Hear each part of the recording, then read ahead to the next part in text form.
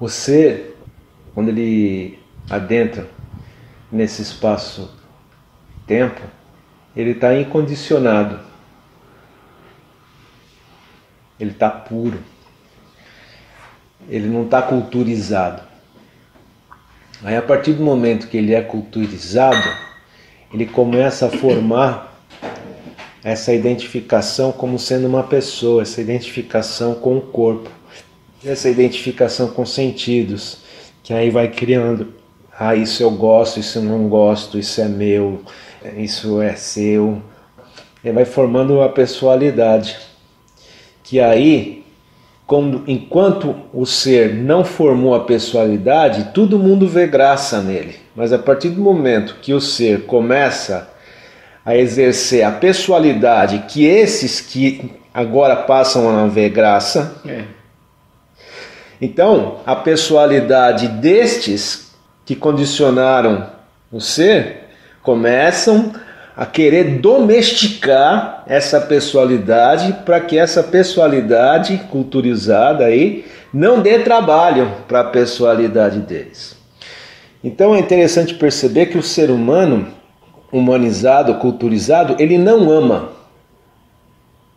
Inevitavelmente ele será um ser egoísta, autocentrado, calculista, separatista, rancoroso, ressentido, desconfiado, envergonhado, traumatizado, limitado, sempre disputando espaço no reino das pessoalidades que simulam que amam.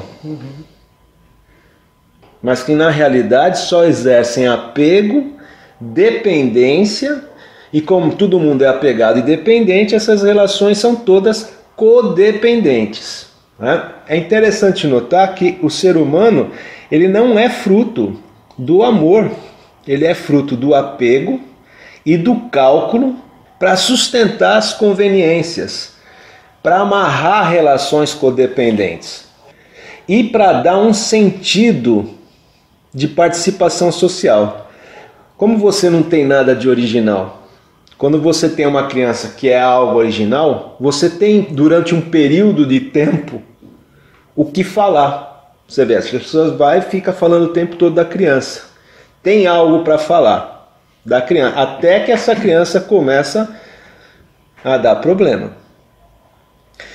Quando essa criança já não é mais motivo de atenção tanto para o casal como para a inter-relação do casal, aí qual que vem a ideia? Outra criança. aí a primeira criança fica relegada a segundo plano. E a segunda criança passa a ser, a exercer a função que a primeira teve. A mesma, repetindo a mesma coisa, só que o pior, agora ela também é uma fonte de comparação com a primeira ou a primeira uma comparação com essa. O que acaba criando mais trauma na, na, na, na primeira criança e mais apego ainda na segunda. Então todo ser humano acaba crescendo no mesmo movimento. Quando a ideia de criança já não for mais um fator de sociabilização, porque a criança é usada como um instrumento de distração do adulto que não sabe o seu sentido de viver a criança é usada para amarrar relações. A criança é usada para sustentar esse meio comercial da sociedade. Quando as crianças deixam de ser esse fator, então o casal começa a, a arrumar outras situações que também socialmente dão a possibilidade de ter o que falar e um sentido existencial. Então, é a casa, é a casa do campo, é a casa da praia, né? É, situações em que você possa ter uma validação social e um sentido. Você vê que as pessoas não falam assim, não, agora eu não posso parar porque eu ainda tenho que pagar a casa, eu ainda tenho que pagar o apartamento, pô, ainda tenho a faculdade das crianças, então você vê, tudo isso é utilizado como uma tentativa de dar um sentido para uma existência que perdeu o sentido no seio da, da, da, família que foi construída na intencionalidade do cálculo autocentrado e não numa expressão mútua de um amor genuíno, real. E se parasse na segunda, tá bom, né? Hoje em dia ainda o pessoal até calcula também a quantidade Exatamente. de filhos que tem. Mas na nossa época, dá-lhe criança chegando no mundo. É interessantíssimo isso que você colocou. Você vê como Cristo prova que a mente é calculista. É. Antigamente não tinha isso, até porque era um condicionamento. Ter muito filho. Quanto Ter mais muito filho, quanto mais filho, mais respeitado você mais- o homem era mais macho e a mulher era Exatamente. mais. Hoje, por causa do cálculo autocentrado, Mas era um cálculo também. Certo. Quanto mais eu colocar criança, mais eu vou ter preenchimento, mais eu vou ter, eu vou ter é, aprovação social. Tudo sempre foi um cálculo, nunca deixou de ser. Aí, quanto mais eu, olha, olha que, né, é, quanto mais eu tiver, melhor vai ser, né, perante a sociedade da, da- de cada época. Vai se adaptar, vai calcular de acordo com a época que, que se vive, né, vai ter um, um, um cálculo ali. Você fica muito claro que todas as situações, a pessoalidade culturizada vai tentando encontrar nelas um sentido existencial. Porque tudo se mostra muito patético, tudo se mostra muito enfadonho. Para todos. E, é muito interessante que todo mundo simula, né? Então, assim, é, quando a criança nasce, todo mundo acha bonitinho no começo, tá? Mas daqui a pouco enche o saco ficar ouvindo falar da criança. Mas ninguém, tem, ninguém vai falar isso, porque se você falar isso, você pode afetar a, a sociabilização, certo? Então entra um jogo de simulação em todas as situações. E aí vai Aí fica pulando. uma disputa entre qual filho que é o melhor, qual que. Até Então, isso também entra. então você Entre vai vendo que tudo ali, isso- é, vai sendo uma tentativa de encontrar um sentido, porque no fundo, no fundo, o ser humano sente que não faz sentido aquilo. Mas como ele está tão comprometido com essas situações que ele criou sem lucidez, sem estar integrado em si mesmo, sem estar integrado numa consciência lúcida e realmente amorosa e genuinamente criativa, porque outra coisa, não existe criatividade genuína na maioria do ser culturizado. Ele é uma imitação modificada, disfarçada do que já está manifesto. Não há genuína criatividade. Como não tem isso, tudo fica sem sentido. Então você fica tentando achar sentido. É interessante que você vê até mesmo o cara, as pessoas buscam, é muito- muitos buscam sentido numa profissão. Então o cara vai, vai, vai até chegar no limite daquilo e perceber que aquilo não faz sentido, não deu o sentido que ele esperava que dava. Esperava. Então ele fala assim: ah, não, agora eu quero começar algo diferente. Ele vai pular para outra situação. Vai calcular de novo. É, cálculo não. e, cálculo e- e- vai, no- e vai de adulteração em adulteração de percepção de realidade.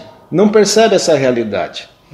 Nunca recebe o convite para parar e olhar com propriedade a exata natureza que movimenta todas as suas atividades e todas as suas relações.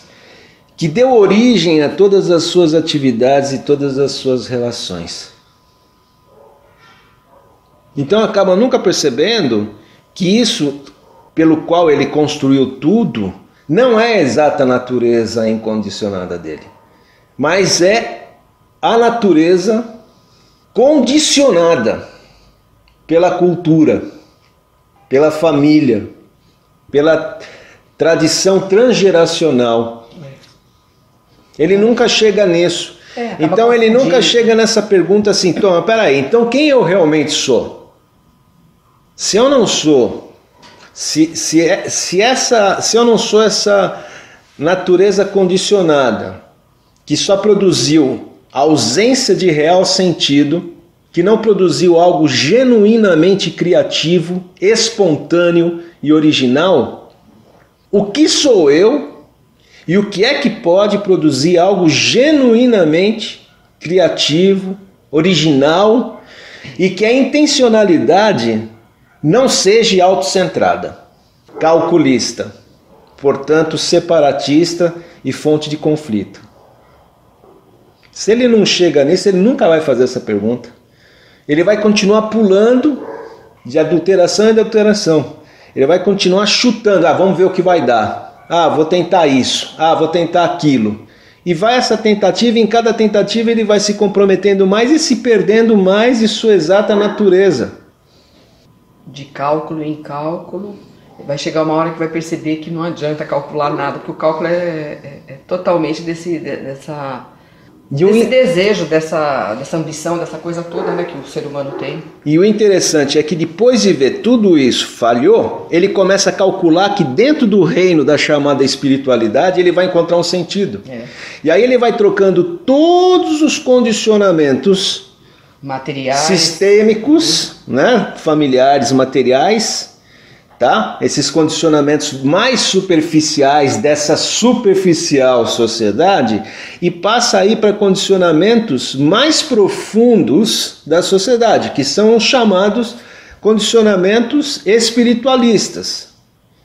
Então ele continua saindo de uma ideia de uma forçosa existência para uma outra forçosa existência em que ele tem que se forçar a não fazer isso, a não fazer aquilo, a só por hoje isso. É só ele, continua, é, ele continua dentro de uma estrutura condicionante. Ele Calculista. não encontra é outra é outra adulteração. É.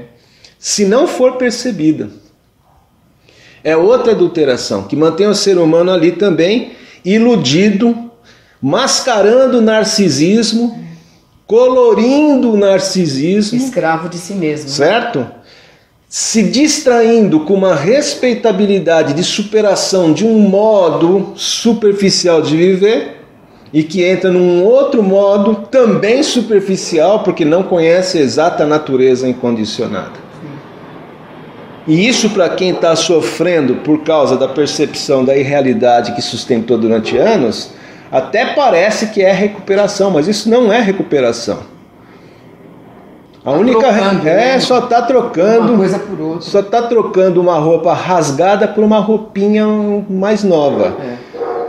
Pegou, jogou uma roupa rasgada e tá pegando a roupa do brechó. Mas daqui uns dias ela vai rasgar também. Certo. Não, não descobriu a sua exata natureza, não recuperou a sua dimensão de ser que é lucidez, que é poder de criação, poder de integração e de intencionalidade não calculista, não autocentrada. Continua funcionando dentro do cálculo continua funcionando dentro do autorrespeito, continua funcionando dentro da, dessa necessidade de sociabilização para alimentar uma pessoalidade culturizada, que agora é uma pessoalidade culturizada em cima de valores, entre aspas, espirituais. Polida, né? Que tem que. Mas, mas continua dentro da, da, da estrutura. Continua dentro da. Continua o mesmo ser egocêntrico. É, mesmo... Só que fazendo força para não dar expressão a um egocentrismo mais grosso. É. É um egocentrismo mais polido. É, agora está mais lapidado. Mais né? político. Tal, mas mas político. continua no cálculo, né? É. é uma coisa louca. Continua. Desconhece o ser enquanto na pessoalidade culturizada, seja em que nível de cultura, de, de cultura, continua um ser que não sabe o que é a realidade do amor transpessoal. É. Porque amor pessoal não é amor, é jogo de conveniência. É cálculo. É cálculo.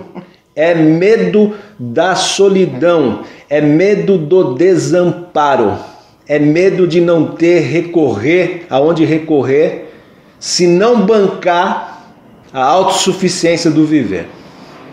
O que é tido por amor pessoal é uma ferramenta de alimentação e de validação social dessa pessoalidade débil, porque tem o lado B e é nesse lado B que não é revelado, está lá toda a debilidade dessa pessoalidade, certo? E o lado A, na maioria das vezes, é bem mascarado também. Né? Então, então perceber todo esse jogo, né? Que a gente já começa não como fruto de um amor real, mas sim de um jogo de conveniência, de um jogo de tentar responder às exigências do sistema. Do sistema. E aí você passa uma vida se justificando. Para tem... Por que você está fazendo aquilo? É, para responder às exigências dos instintos degenerados pela cultura. Então nós já somos fruto disso e embarcamos nisso. Porque você vê, quando a criança percebe que está sendo usada, ela se rebela. É. Só que ela não tem a inteligência ali. Uhum. Ela se rebela.